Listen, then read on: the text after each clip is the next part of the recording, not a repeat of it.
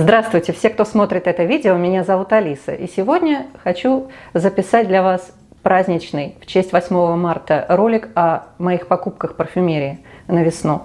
А заодно и выполню запрос о цветочных ароматах.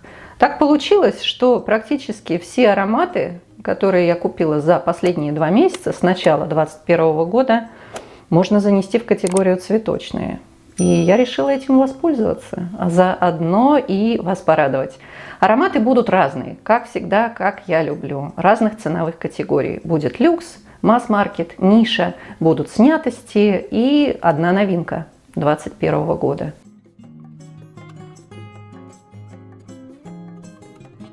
Давайте с бюджетного аромата и начнем. Французский дом парфюмерный Paris Bleu, он существует больше 30 лет, и аромат называется Apology, извинения. Обожаю бюджетные вот эти находки, когда не только аромат достойный, но и исполнение. Посмотрите, какая упаковка. Белый матовый картон, и на нем красные глянцевые цветочки выпуклые. Картон качественный, плотный. Внутри вкладыш – все в тон, все в тон. Флакон, конечно, не верх изящества, но вполне симпатичный. И сделан он тоже хорошо, и крышка у него не символическая, а даже немного утяжеленная, укрепленная, но сам аромат. Самое главное – это аромат. Где мой фирменный блотер, модный? Я купила это, этот аромат случайно по пирамидке. Меня привлекла нота айвы. Действительно, в старте это сочнейшая кисловатая айва и цедра грейпфрута. Но аромат все-таки не до конца фруктовый. Все это через 20 минут примерно превращается в красивейший и яркий душистый гиацинт. Именно гиацинт солирует в цветочном букете в сердце парфюма Apology. Здесь есть еще и жасмин, и ирис, но гиацинт главнее. А, база стандартная, молекулярная. Кедр, амброксан и белый мускус. Но белый мускус здесь не так сильно выражен, поэтому если вы ищете аромат, похожий на Chanel Chance au Tendre, вам нравится именно эта нота айвы, но вам не нравится мускус, парфюмерии Шанель, вот этой серии шансов, то попробуйте Apology. Я знаю, судя по тому, что надписи на донышке упаковки на русском языке, этот аромат поставляется в Россию. У кого он есть, пожалуйста, напишите мне. Стойкость для парфюма недорогого меньше 20 долларов мне обошлась вот эта 100 миллилитровая бутыль парфюмерной воды. Невероятная. Это 8 часов. Аромат – легким облачком целый день с вами. Он настолько позитивный, приятный, весенний. Я думаю, на лето он тоже пойдет, на прохладное лето, но не на жару, что его хочется постоянно и постоянно носить. Вот неделя. А у меня еще 9 флаконов впереди. Отличный парфюм Apology от Paris Bleu. Обожаю, обожаю бюджетные сокровище. У меня, кстати, есть еще два аромата от этого дома, так что если вы заинтересовались, пожалуйста, а, напишите мне в комментариях, я и на них тоже обзор сделаю. Аромат Very Estee от Estee Lauder. Как нельзя лучше подходит на самое начало весны. Он ассоциируется у меня с капелью. По какой-то странной причине этот парфюм практически не встречается ой, в магазинах американских. Я его не видела ни разу. Его периодически выбрасывают в интернет-аутлеты, и он там стоит очень-очень недешево и практически сразу пропадает. Этот флакон я купила на сайте strawberrynet.com на клубнике. И там сейчас на него цена очень привлекательная, 50 мл, парфюмерная вода 44,5 доллара. Как я люблю этот аромат, как я давно его хотела. Он многогранный. Он цветочный, древесно-мускусный. И начинается он действительно нотами скошенной травы и влажной древесины, которая впоследствии превращается в розу в обрамлении белых цветов. Роза здесь с белыми цветами не спорит. Она стоит в стороне и поглядывает на них немного свысока. Роза здесь очень приятная, не резкая, мягкая, чуть кисловатая, с легкой горчинкой – И она вот именно прохладная. Видимо, за счет того, что нота лотоса, такая водянистая, добавляет ей отстраненности какой-то, что ли, за счет чего аромат э, достаточно сдержанный. Он совсем не такой веселый и задорный, как предыдущий Apology от Paris Bleu. Это отличный вариант в офис. Там, где есть дресс-код, аромат ненавязчивый, э, не слишком шлейфовый, но очень стойкий. И носить его очень приятно. Он, знаете, мне что напоминает? Он мне напоминает э, Pleasures из самых первых выпусков конца 90-х. Вот этой именно своей прохладной, водянистой горчинкой. Мне кажется, будто бы снег растаял на розовых лепестках. Следующий аромат вы хорошо знаете, это Идиль от Герлен, парфюм 2009 года в парфюмерной воде. Э, я не сняла с него даже слюду, потому что это уже раритет. Вот эти старые флаконы, дореформенные, сейчас, как вы знаете, все свои знаменитые ароматы Герлен продает в одинаковых унифицированных флаконах с пчелой, цилиндрических. А я загорелась идеей собрать именно коллекцию стареньких флакончиков. Мне кажется, они гораздо симпатичнее выглядят, и как-то их и в руках приятнее держать. И у меня практически вся уже коллекция подобралась, остались несколько экземпляров. Так что у нас? Парфюмерная вода. Это тоже на тему белых цветов и розы. Я всегда ходила мимо этого парфюма. У меня никогда его не было. И меня пугал ландыш. Да, это ландыш. Это очень сильная нота, и я не могу сказать, что являюсь поклонницей ландыша. В парфюмерии я всегда подхожу к выбору ароматов с ландышем очень и очень осторожно и придирчиво. Но у меня начинает голова иногда болеть. Поэтому, когда раньше я пробовала вот этот идиль в duty free где или где-то в магазине, так понюхаю, а нет, и иду дальше. И блотер выброшу, не дай бог, голова заболит. А вот не надо было этого делать. Надо было сделать вот так. И положить его на 20 минут, а потом вдохнуть еще раз. И когда уходит ландыш, появляется и жасмин, и пион, и фрезия, и другие белые цветы. И главное, сирень. Сирени, правда, здесь маловато. Я бы хотела ее чуть больше. Но я заказала еще один флакончик из этой серии Идиль Блоссом. Вот там, как мне сказали, сирени гораздо больше. Э, так что же у нас после белых цветов? А после белых цветов появляется красивейшая роза. Да. Аромат этот именно о сотрудничестве. Кардебалета в лице белых цветов и солистки, ее величество розы. Чудесный аромат, очень стойкий на мне, он очень шлейфовый, вот за ту неделю, что я с ним знакомлюсь повторно, что я его разнашиваю, он меня просто не устает радовать. Для ранней весны, мне кажется, это прекрасный выбор. Белые цветы и розы. Идиль. Чтобы завершить тему с розой и белыми цветами, покажу вам Travel флакончик аромата Идоль от Lancome. Это обычный Идоль, не Intense, аромат 2019 э, года. Мне кажется, один из самых недооцененных парфюмов. Почему-то его так сдержанно хвалят. Он великолепен все-таки, он прекрасен. Я не покупаю его, наверное, из-за того, что мне не нравится флакон сам. Вот этот плоский. Я все время боюсь, что он упадет и разобьется у меня. Ну, не нравится дизайн абсолютно. Но аромат чудесен. Аромат стойкий, аромат шлейфовый, яркий, осязаемый – на моей коже он держится часов 12. Это жасмин, это роза и это белый мускус. Производитель утверждает, что здесь присутствует шипровый аккорд. Но шипра я не слышу. Для меня скорее это аромат чистоты мускусный. А также здесь очень интересно обыграна нота груши. Чем дольше я ношу этот аромат, тем больше я в него влюбляюсь. И мне кажется, он подходит абсолютно на любую ситуацию. Я даже спортом в нем занималась с, с огромным удовольствием. Вчера вот тут решила подкачать немножко телеса уже свои к летнему сезону и нанесла его на руку. И вот когда я отжималась, мне даже, знаете, очень хотелось еще раз отжаться, чтобы нос дошел до руки. До того приятно он пахнет, по мере того, как тело разогревается, он становится еще лучше. Я думаю, для обладательниц горячей кожи это просто находка. Нет, надо все-таки купить большой флакон, потому что аромат прекрасный. Еще один travel флакончик вам покажу. Это как раз-таки новинка 2021 года. Аромат от Майкла Корса Gorgeous. Великолепная. Купила, потому что меня очень заинтересовала пирамида, в которой помимо цветов и мускуса обещали еще и табачный аккорд. Но когда я его распылила, сразу после покупки, я не поняла – что они хотели этим сказать? Вот видите, осталось всего ничего.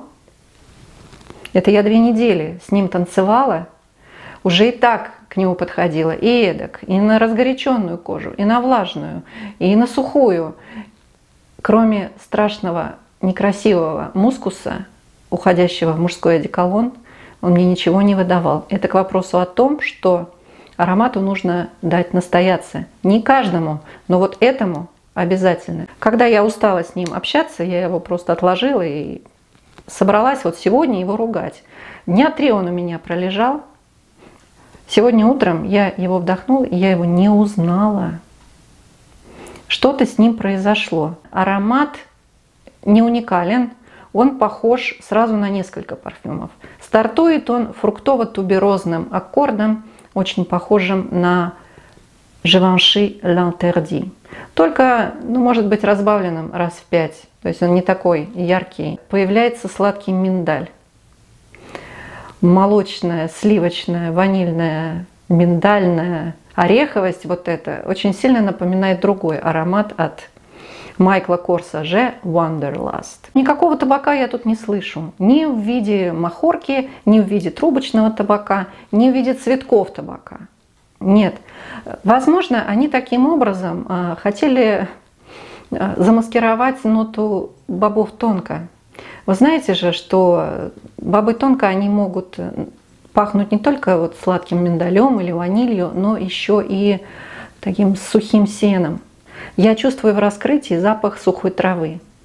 Наверное, это и есть табак. Но дело даже не в этом. Дело в том, что аромат при всей вот своей якобы вторичности, он настолько сбалансирован, ну если его, конечно, подержать немножко в темноте, оставить в покое после дороги, он сбалансирован, он, я думаю, соответствует всем требованиям современного люксового парфюма.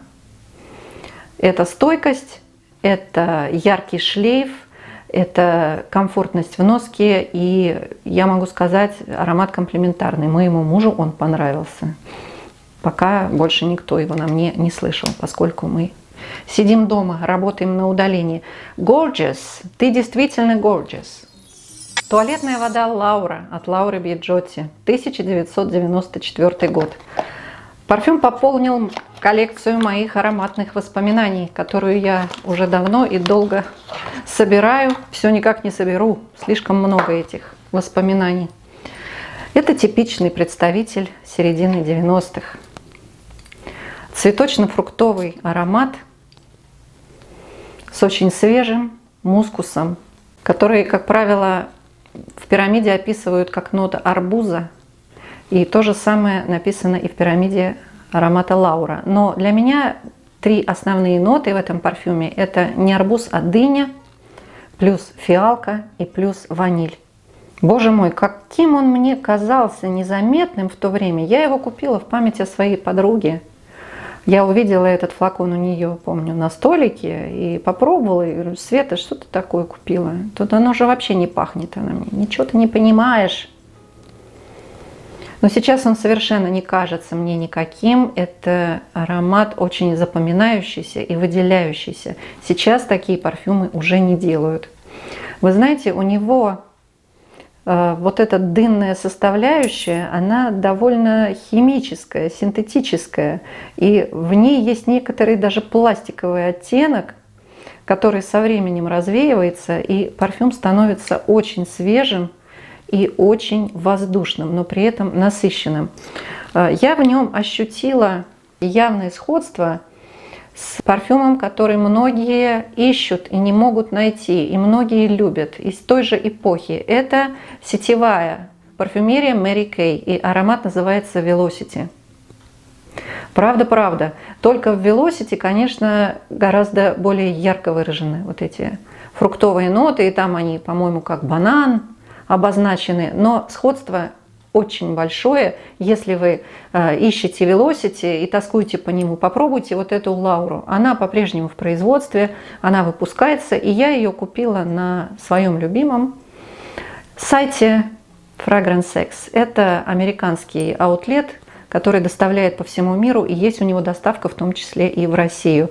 Э, кстати, немного отвлекусь, я очень благодарна своим зрителям, которые по моим ссылкам на этот американский магазин сделали заказы и отчитались о том, что все пришло, все в лучшем виде. Доставка в России у них э, самая дорогая 12 долларов стоит.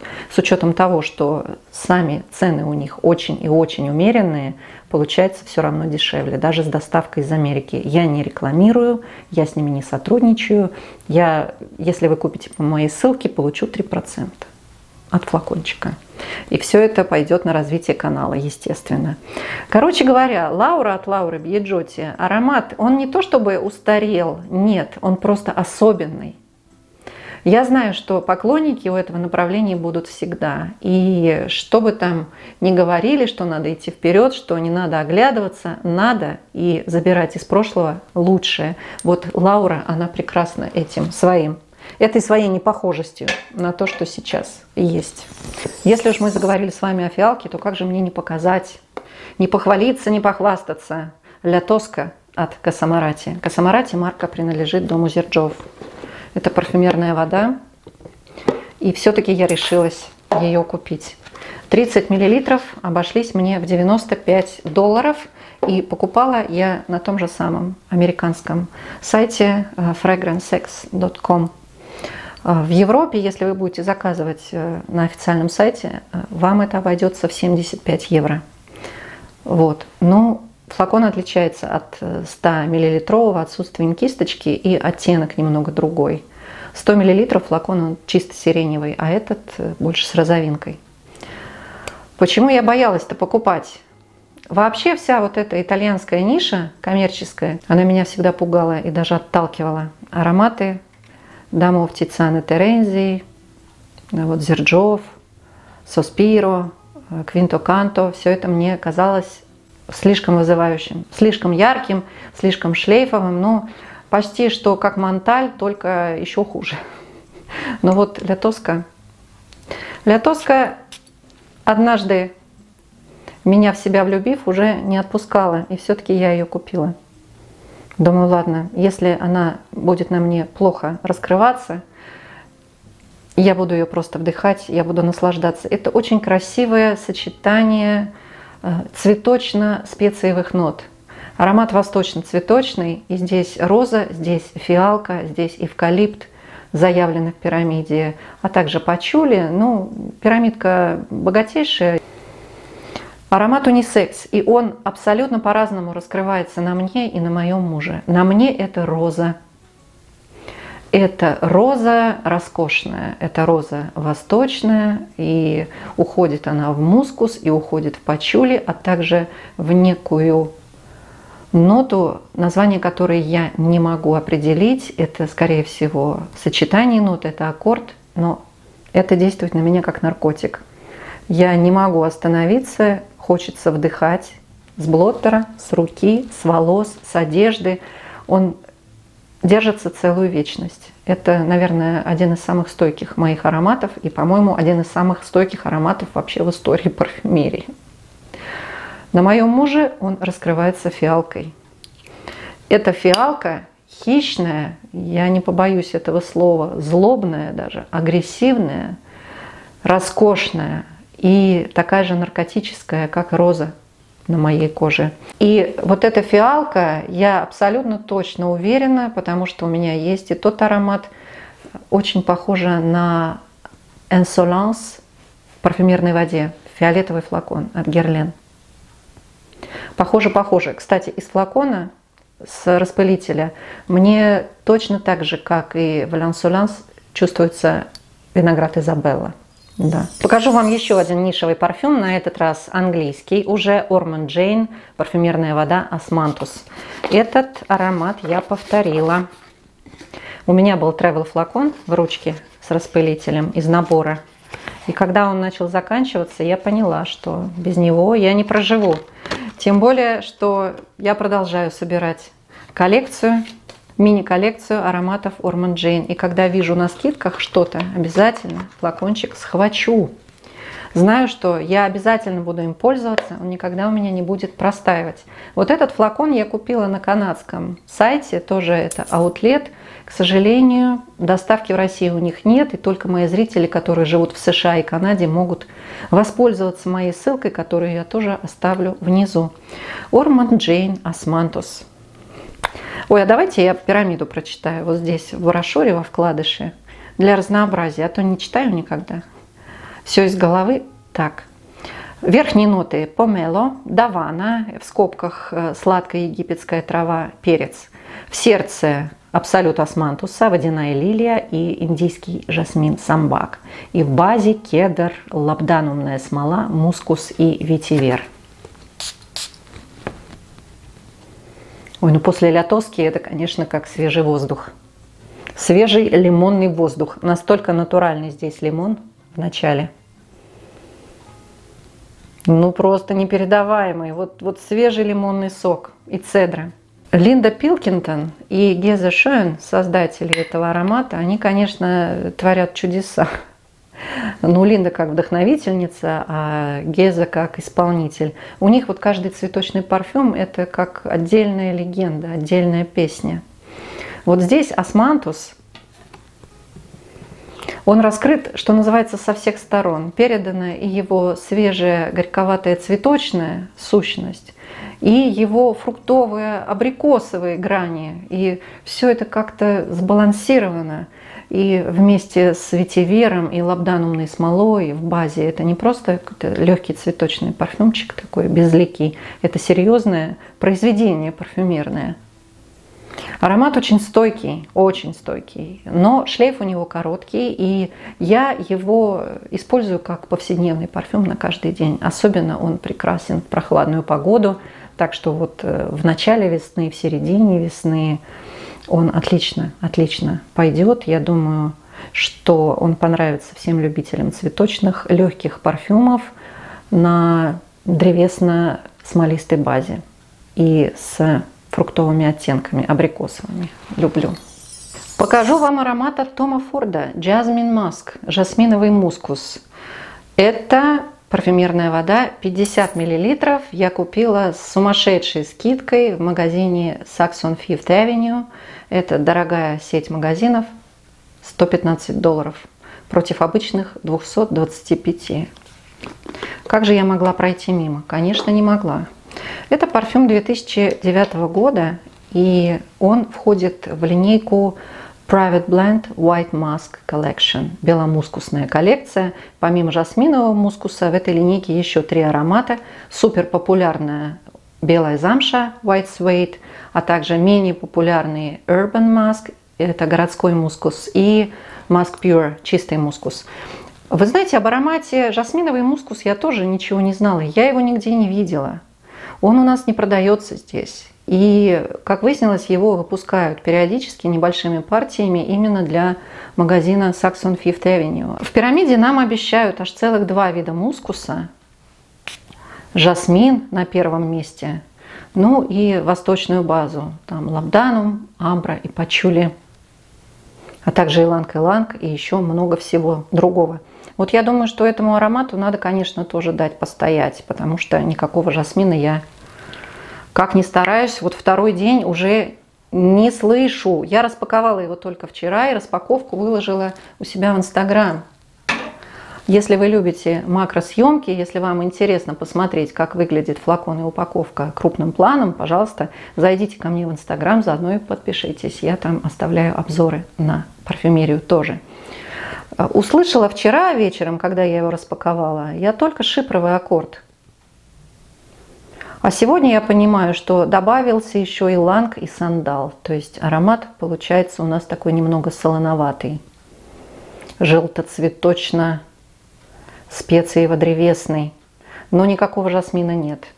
Но поскольку иланг я все-таки расслышала в этом парфюме, то решила его включить в эту подборку. Тем более, что название у него тоже цветочная. Теперь Кстати, напишите, пожалуйста, у кого есть этот жасминовый мускус, как он на вас раскрывается, особенно те, конечно, мои зрительницы, кто его давно носит и долго. И мне кажется, все-таки это аромат чистый унисекс. Также, кстати, как и вот этот вот османтус, несмотря на то, что он такой вроде бы цветочно-фруктовенький, в нем база, она очень даже универсальная. Давайте в финале устроим с вами совместную распаковку. Пополнилась еще одна моя мини-коллекция – на этот раз ароматов от Лалик. И парфюм называется L'amour Лалик. Любовь. Я купила его давно, но как чувствовала, что его нужно было сберечь до весны. Потому что это самое красивое в мире весеннее, ну, может быть, даже летнее, но на прохладное лето, тубероза этот парфюм я рекомендовала своей коллеге в качестве повседневного весенне-летнего. И поскольку цена на него, опять же, в моем любимом аутлете очень невысокая, но сейчас, кстати, она начинает постепенно расти. Ай! Так вот, коллега моя, она так влюбилась в этот аромат, что купила себе еще два флакона – на подарки рождественские подругам. И очень сильно меня благодарила. Вот эта 100-миллилитровая бутыль, она стоит порядка 30 долларов. Но спешите, я хотела себе купить 30 миллилитров. Уже нет, уже разобрали. Посмотрите, какой флакон. Но это лалик. Вот эту деталь можно, конечно, убрать. Потом я ее верну. Флаконы лалик, э, даже вот такие вот простенькие, да, просто кубик – все равно произведение искусства. Особое качество стекла, толщина, э, градиент, бледно-розовое донышко. Ну что сказать, меня, я теряю дар речи, когда вот эти вот такие вот флаконы держу в руках. Сейчас я его распылю.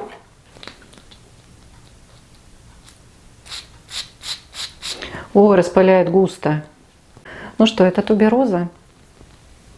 Очень зеленая, нежная, воздушная и совершенно не туберозная. Если вы боитесь аромата с туберозой, если сладкое животное тубероза для вас слишком агрессивная и яркая, попробуйте. Вы даже не поймете, что в этом парфюме она есть. Вместе с акватическими нотами, с этими любимыми мной водяными цветами, лилиями и лотосами – дает потрясающее звучание, женственное, прохладное, аромат очень шлейфовый и очень стойкий, при этом воздушный. Любовь, как переводится название этого аромата. Наконец-то это тубероза, не туберозная у меня. Думаю, это лучший подарок на 8 марта, который я себе сделала. Хотя купила этот парфюм давно. Вот и все. Вот и все, показала вам все свои цветочные парфюмерные обновки на весну 2021. Надеюсь, это видео вам понравилось. Если это так, спасибо, что поставили лайк. Спасибо, что подписались на мой канал и нажали на колокольчик, чтобы не пропустить следующее видео о новинке от Шанель. Хочу вас поздравить от всей души с наступившей весной и с женским праздником, днем 8 марта. Всех мам, бабушек, дочерей, внучек – племянниц, сестер и теть.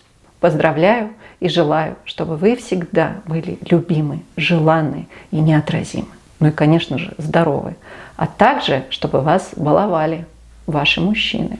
Все знают, что тон в доме, настроение задает женщина. И если она любима и балуема, то и чадом и домочадцам тоже будет очень хорошо и тепло в этом доме. Еще раз спасибо, что посмотрели это видео и до следующих встреч. Пока!